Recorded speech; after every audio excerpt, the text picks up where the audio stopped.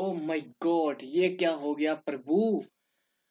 Russian hackers hired to crack JEE and GMAT exam six arrested okay guys तो finally ये news आ चुकी थी। आप सभी ने देखा होगा कि जेई और जी मेट एग्ज़ाम के लिए बच्चों से एटलीस्ट कितने कितने पैसे आठ दस लाख रुपए चार्ज करते थे। ओके okay, और पचास से साठ करोड़ रुपए भी कमा लिए। राइट ये ठीक है, ये सभी को पता है, लेकिन उन बच्चों का क्या, जो 500 600 बच्चे तो आई थिंक जेई के अंदर आ गए होंगे।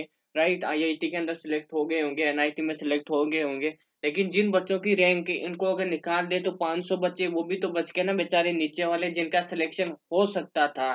और उनको किसी अभी जस्ट लोकल कॉलेज या फिर प्राइवेट कॉलेज में एडमिशन लेना पड़ा सिर्फ़ इन्हीं बच्चों के कारण। सिर्फ़ और सिर्फ़ इन्हीं बच्चों के कारण। गवर्नमेंट के पास ऑलरेडी सारी इन्फॉर्मेशन आ चुकी है अभी कि किन बच्चों ने कितने पैसे दिए, किन्होंने एडमिशन लिया। अब ये डिपेंड करता है गवर्नमेंट के ऊपर कि यार वो इन लोगों का एडमिशन कैंसिल करती है या नहीं करती है। क्योंकि जो सारा का सारा जो सिस्टम था, वो इन्हीं बच्चों का ही सिस्टम था सारा, जिन्होंने इनको इतने लाखों रुपए दिए और बच्चों ने ही बुलाया है इन लोगों को। जो भी रशियन के हैकर्स हैं। भाई इंडिया के अंदर हम लोग भी हैकर्स हैं। हम भी करा सकते थे तुम्हारा काम राइट जो इन लोगों ने रसिया से हैकर्स बुलाए लेकिन फ़र्स्ट ऑफ़ ऑल ये एक अच्छा ही है कि 50 से 60 करोड़ रुपए इंडिया के डेवलपमेंट में काम आएँगे ब्लैक मनी से व्हाइट मनी हो जाएगा ये, ठीक है? इंडिया के काम आएँगे। अब ये जो लोग है हैकर जो लोग है, वो तो अभी यही सोच रहे होंगे, मारो, मुझे मारो मुझे मारो मुझे मारो राइट सो so, यार इट्स वेरी बैड पकड़े गए ये ठीक है लेकिन हाँ ये जो खबर है वो इंडियन एक्सप्रेस का एक आर्टिकल छपा है आप यहाँ पे साफ़ साफ़ पढ़ सकते हैं ठीक है? ये देख लो मैं इसका लिंक जो है वीडियो के डिस्क्रिप्शन में डाल दूँगा ओके तो ये जस्ट जीमेट का एग्ज़ाम भी कराते थे पास और ये कैसे करते थे सारा सिस्टम ठीक है? और जो भी लैपटॉप के अंदर उनको जो एक्सेस करके उनका करेक्ट आंसर प्रोवाइड करते थे।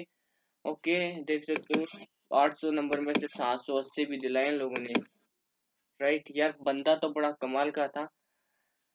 ठीक है, अब जैसे अगर ये लोग अगर नीट में अगर वगैरह वगैरह में अगर ऐसे कराएँगे तो फिर यहाँ पे डॉक्टर्स नहीं, खतरनाक ही डॉक्टर पैदा होंगे, मुन्ना भाई एमबीबीएस की तरह। ठीक है, और इंजीनियर का तो अब कहना ही क्या, कैसे कैसे इंजीनियर पैदा होंगे यार? यार, जिन लोगों के पास इतना इतना लाखों रुपए लगाने के लिए है, उनको आईआईटी जाने की ज़रूरत का है?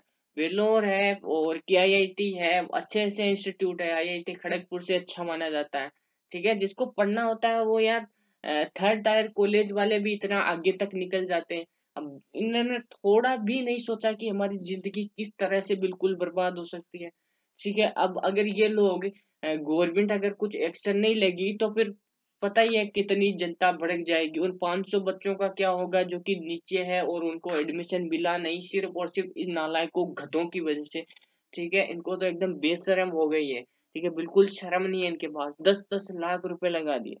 ठीक है? और इनका पेरेंट्स का तो कहना ही क्या? यार, जो बच्चे मेहनत करके नंबर लेके आए। ठीक है? और 500 बच्चों की ज़िंदगी बर्बाद कर दी तुम लोगों ने दस लाख रुपए के चक्कर में।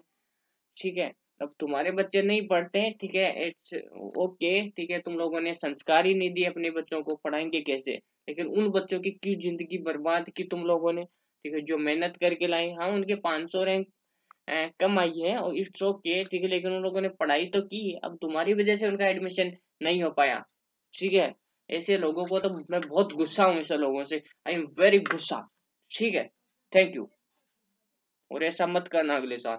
इस साल जर्मनी से बुलाएँगे, देखना लोग। ये पढ़ाई लिखाई करो आई एस वाई एस बनो, देश को संभालो। अगर ऐसे चलेगा ना तो फिर कुछ नहीं होने वाला तुम्हारा। ठीक है।